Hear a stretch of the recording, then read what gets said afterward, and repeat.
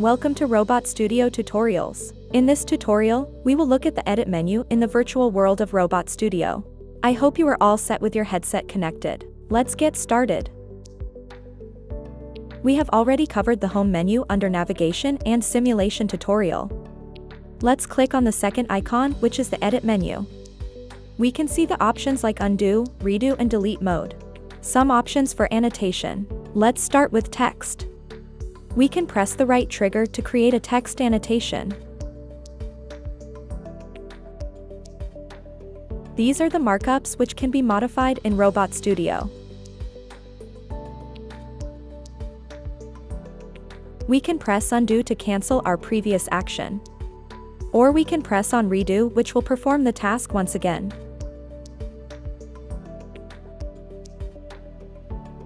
We can also use the delete mode to delete the targets, instructions and annotations created. Next is arrow. Press and keep down the right trigger to draw an arrow. Arrows can be drawn to visualize the flow of a path, or any movement direction inside the station. We can change the color of our annotations from here.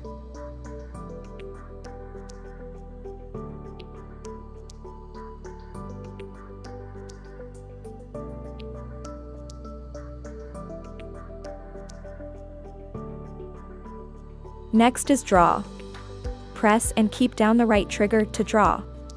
For instance, we can create dummy paths or pinpoint some areas on our workpiece.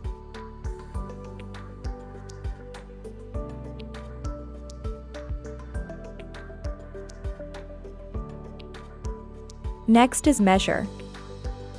We can measure the distance between any two points using this function. To measure the distance between any two points, just press the right trigger on point 1 and keep it pressed until you reach the point 2.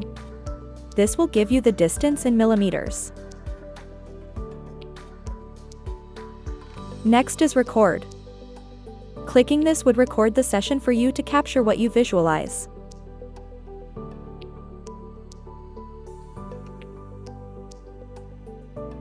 We can stop the recording by pressing on stop.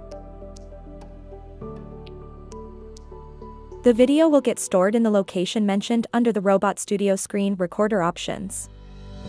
Let's see what we recorded.